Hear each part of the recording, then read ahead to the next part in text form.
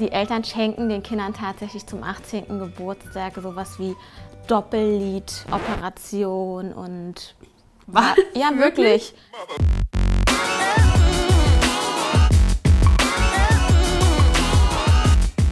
Hallo Leute, ich bin Silvi und willkommen zu einem neuen Bettgeflüster hier auf Bedside Stories. Heute habe ich mir die liebe Hazel mit ins Bett geholt. Ihr habt schon vielleicht den ersten Teil auf Hazels Kanal gesehen. Wenn nicht, dann huscht da gerne mal rüber. Wir verlinken es euch auf alle Fälle mal. Und äh, falls ihr von Hazel kommt, dann solltet ihr auf alle Fälle den Kanal hier abonnieren, falls euch die Themen Liebe, Sex und Verhütung interessieren. Wir reden da hier ganz offen drüber und auch ganz oft sind ja YouTuber wie Hazel da oder auch andere prominente Leute, die ihr kennt und die quetsche ich dann so ein bisschen aus zu ihrem Liebes- und äh, Sexleben. Vielleicht Dinge, die ihr noch gar nicht wusstet über die Person. Und es ist auf alle Fälle jedes Mal spannend.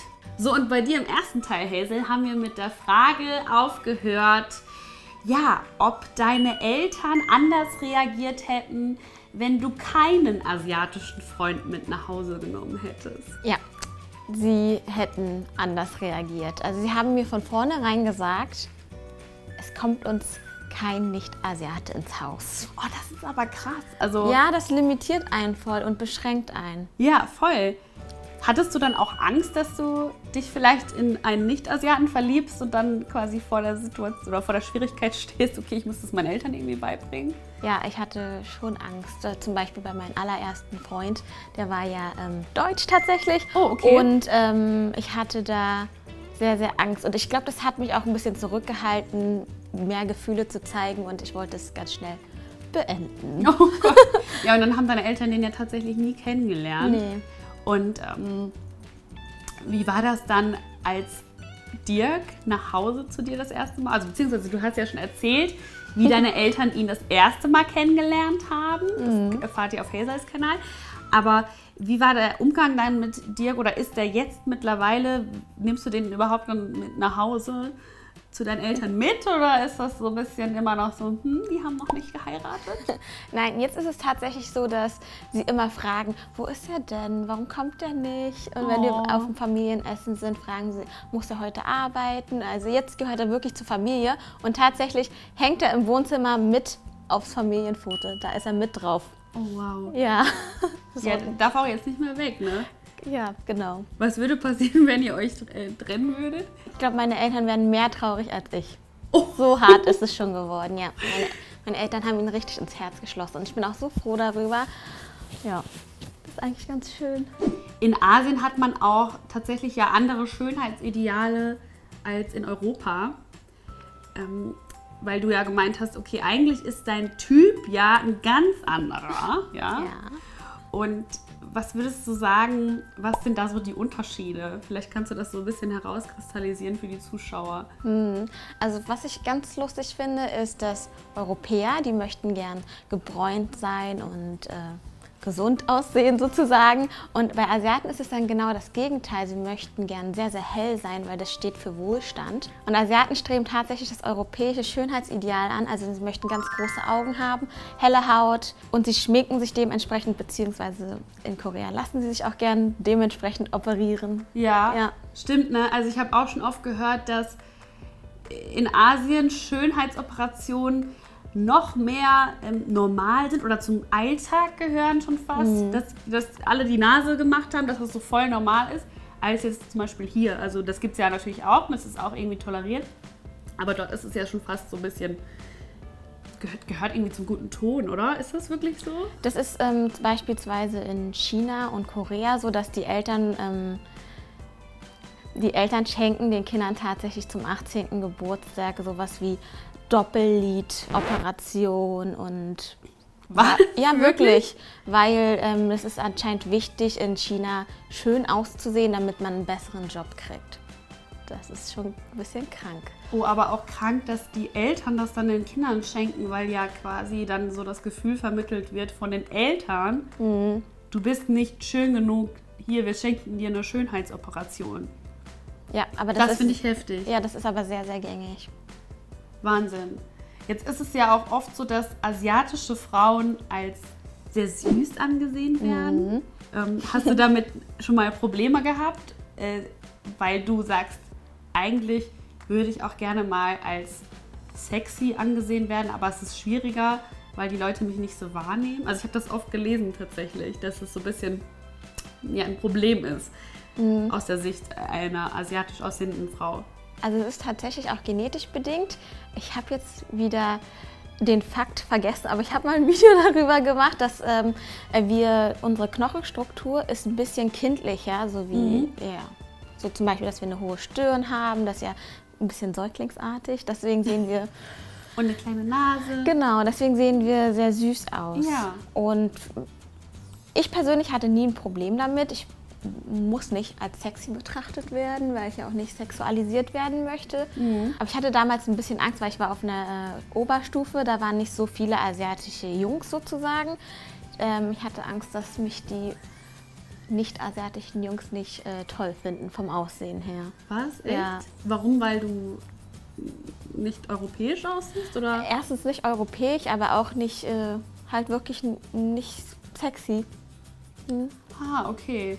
Also war das schon ein Thema früher für dich? Ja, also von der siebten bis zur achten hatte ich das Gefühl, dass sich gar kein Junge für mich interessiert. So. Das kann ich aber auch. aber es hat mich richtig traurig gemacht. Aber es hat sich plötzlich geändert, als ich aus der Pubertät war. da bin ich aufgeblüht, ja.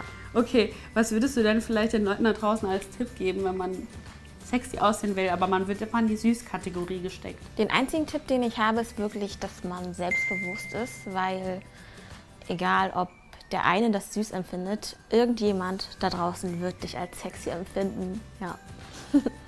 Den finde ich sehr gut, das unterschreibe ich so. Du hast ja auch in manchen Videos schon erzählt, dass du oft rassistische Anfeindungen bekommst, mhm. auch gegenüber deinem Aussehen. Wie gehst du damit um? Also, ähm, was machst du dagegen? Beeinflusst dich das? Also mich beeinflusst das nicht mehr. Also mhm. als ich mit YouTube angefangen habe, doch schon sehr stark, da habe ich die Kommentare mir zu Herzen genommen. Aber ich habe in meinen Videos schon sehr oft erwähnt, dass jeder Kommentar, der nur über mein Aussehen ist, egal ob positiv oder negativ, wird ignoriert. Weil ich brauche auch nicht die Kommentare, dass man mich hübsch findet oder sowas. Genau, ich versuche das auszublenden, egal ob positiv oder negativ. Ja, weißt du, was ich immer sage? Wenn Leute dein Aussehen beurteilen, dann finden sie auf der inhaltlichen Ebene einfach nichts. Und eigentlich ist das was Gutes. Also ja, das Gute so für das Video. Genau, und so drehe ich das immer, weil ich mir denke, ja gut, ne, wie du schon sagst, also es geht ja nicht, auf deinem Kanal geht es ja auch nicht um Aussehen, bei mir auch nicht. Deswegen ist es mir eigentlich auch wurscht, ob Leute finden, dass ich gut aussehe genau. oder nicht. Und ich glaube, so kann man das drehen, dann ist einfach inhaltlich alles in Ordnung. Ich finde auch, das Aussehen ist ja auch wirklich das Einzige, wofür du nichts kannst. Richtig. Und wenn du jemanden beleidigst für etwas, was er nicht kann, dann sagt das was über dich aus. Es sagt sowieso immer, wenn man Leute beleidigt, eher was über einen selbst aus, als ja. über die andere Person. Genau. Von daher, falls ihr irgendwelche Kommentare bekommt über euer Aussehen, dann ähm, ja, versucht mal so ein bisschen euer Mindset so aufzubauen, es gibt ja auch einen totalen Druck einfach heutzutage auf Social Media. Ja. Ich meine, ähm, diese ganze perfekte Instagram-Welt ist natürlich schwierig, wenn man jetzt zum Beispiel auch in der Pubertät ist. Mhm. Hast du das auch so mitbekommen, dass dich das irgendwann mal belastet hat? Vor allem, ähm, ja, weil du im europäischen Raum lebst und natürlich die Standard-Instagram-Models natürlich ein ganz anderes Bild verkörpern. Hat dich das dann irgendwie belastet oder folgst du dann auch eher asiatischen ähm, Leuten? ähm, es hat mich tatsächlich nicht so belastet, weil ich habe mit Social Media sehr spät angefangen, ja. was auch ganz gut ist, wenn man schon herausgefunden hat, was für ein so das Schönheitsideal ist, dass man dann erst mit Social Media anfängt. Und ich folge tatsächlich eher asiatischen Schönheiten, weil ähm, ja, warum? Weil du dich wahrscheinlich besser damit identifizieren kannst, oder? Genau. Ja. Und dann äh, natürlich ist das näher an einem dran, logischerweise. Ja. Wobei ich früher auch immer die Blondinen toll fand. So in, ja. in, in Girlbands und so wollte ich immer die Blonde sein, weil ich immer blond sein wollte, bis ich irgendwann genau. akzeptiert habe. Okay, du hast halt einfach keine ähm, blonden Haare. Haare.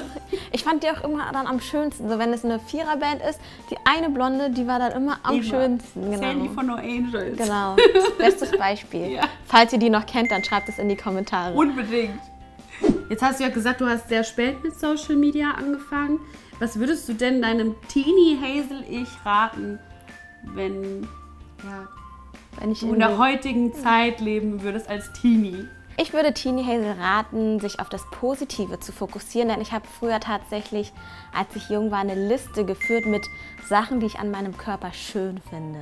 Oh, wie schön. Ja. Ist ja richtig clever. Ja, da habe ich zum Beispiel aufgezählt, ähm, meine Augen, meine Haut, also wirklich jedes Körperteil. Aber dann habe ich mich zu stark darauf fokussiert, was nicht auf der Liste stand. Genau. Und deswegen würde ich halt meinem Teenie ich sagen, fokussiere dich auf das Positive. Weil das ist das, was du hast und das ist das, was dich besonders macht. Genau. Man muss immer mit dem arbeiten, was man hat. Genau. Genau, und das hat wahrscheinlich dann auch kein anderer. Ja, ich würde sagen, das ist mal ein schönes Ende. Ja. Schreibt alle Listen mit positiven Sachen an euch oder schreibt es vielleicht auch mal in die Kommentare. Am besten, ich würde sagen, drei Sachen könnt ihr in die Kommentare schreiben, was ihr an euch mögt. Und äh, danke, Hazel, dass du da warst. Ja, es hat mir voll viel Spaß gemacht. Ja, wir liegen hier so gemütlich. Ey, das ist Ja. ein richtig tolles Format bei euch. Ja, falls ihr jetzt den Kanal noch nicht abonniert habt, immer noch nicht, dann solltet ihr das jetzt auf alle Fälle tun. Wenn euch das Video gefallen hat, gerne auch ein Däumchen nach oben da lassen. Und bei Hazel dürft ihr natürlich auch vorbeischauen. Und wir haben auch noch ganz viele andere Videos hier. Also klickt euch gerne mal durch. Wir bleiben noch weiter liegen, kriegen noch ein paar Kekse und äh, wünschen euch noch einen schönen Tag. Tschüss, Leute. Tschüss.